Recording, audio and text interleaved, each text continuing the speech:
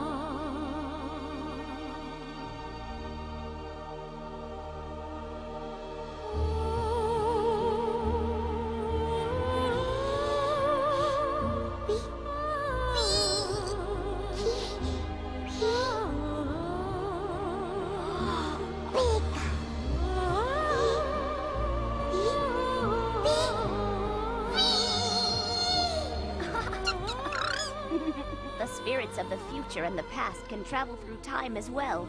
And so they've all come. They must have sensed that their friend was in trouble. Eh? And now they're here to help.